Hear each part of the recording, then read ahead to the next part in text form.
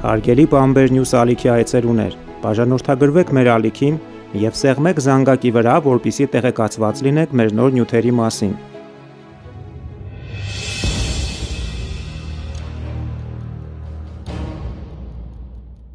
Հայաստանի պաշտպանության նախարարությունը հրապարակել է տեղեկություն Տավուշի սահմանի ուղղությամբ ադրբեջանական դիվերսիայի փորձի մասին։ Ադրբեջանցիները հայտնել են մեկ կորստի մասին։ Ըստ հայկական կողմի հաղորդագրության, Դիվերսիոն փորձը կասեցվել է եւ հակառակորդը հետ է մղվել թողնելով սպառազինություն եւ ականորսիչ սարք։ Ընդ որում ուշադրության է արժանի հանգամանքը, որ սարքը գերմանական արտադրության է։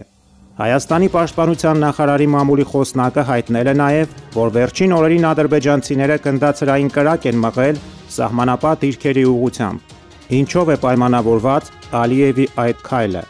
Մյունխենում Նիկոլ Փաշինյանի հետ քննարկմանը Դիվանագիտական հաղթանակ տարփողած Ալիևը դիմում է զենքի, այն էլ Հայաստանի սահմանների ուղությամբ։ Ինչ հարց է նա փորձում լուծել դրանով։ Թե ընդամենը ծածկում է իրականում քաղաքական եւ դիվանագիտական փակուղին, որում հայտնվել է առավել եւս Հայաստանի հրճակած Մյունխենյան սկզբունքների պայմաններում։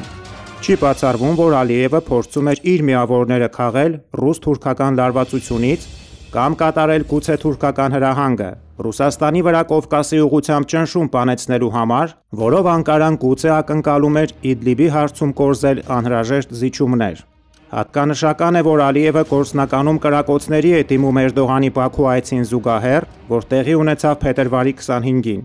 Իսկ դիվերսիոն ներթափանցման փորձը եղել է Մոսկվայում Պուտին-Էրդողան բանակցությանը զուգահեռ։ Բանակցությունն ավարտվել է պայմանականորեն ոչ ոքի, Թուրքիան կասեցրել է Իդլիբի հանդեպ վերահսկողության ռազմական գործողությունը, որ ռուսական աջակցությամբ մղում էր Ասադի բանակը։ Մյուս կողմից Թուրքիային կարծես թե չի հաջողվել իրավիճակը կամ դիրքային ստատուս քվոն վերադարձնել Ելման դիրք, եւ հրադադարի պայմանավորվածությունը ձեռք է բերվել այն դիրքերում, որին Ասադի բանակը հասել էր վերջին օրերի ռազմական գործողությունների ընթացքում։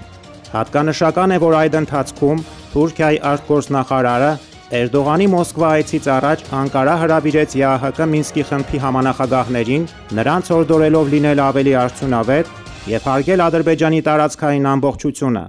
Ըստ երևույթին, Անկարան դրանով ոչ միայն փորձում էր Արցախյան կամ հայ-ադրբեջանական խաղակարգը խաղարկել Մոսկվայի բանակցությունից առաջ,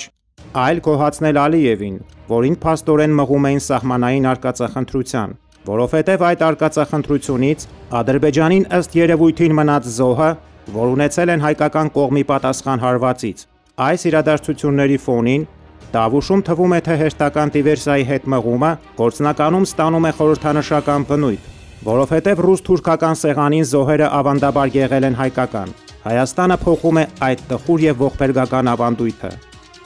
Նյութի աղբյուր լրագիր եմ